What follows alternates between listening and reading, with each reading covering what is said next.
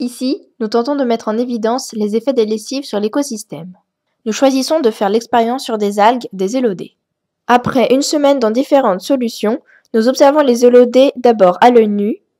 On remarque déjà des différences entre les lessives, puis au microscope. Dans de l'eau pure, l'élodée reste intacte. Alors qu'après une semaine dans une solution d'eau et de lessive classique Epsil, nous observons une profonde décoloration de l'algue et les bords sont comme décomposés. Après une semaine dans la lessive classique gamma, on remarque une légère décoloration de l'élodée. Lorsqu'il s'agit de la lessive dite verte maison verte, l'élodée est complètement décolorée.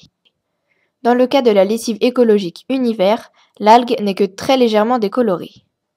Lorsque l'on regarde de plus près, on s'aperçoit que les effets sont les mêmes et que les lessives ont causé la disparition des chloroplastes, les petites cellules à l'intérieur des cavités.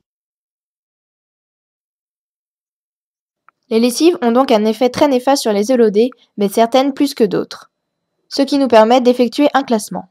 En première place arrive la lessive écologique univers, car l'élodée reste en très bon état. En deuxième position, on place la lessive classique gamma qui ne dégrade pas beaucoup l'algue.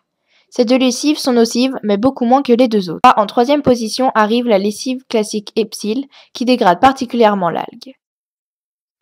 Et en dernière position, la lessive dite verte maison verte qui a complètement décapé l'élodie.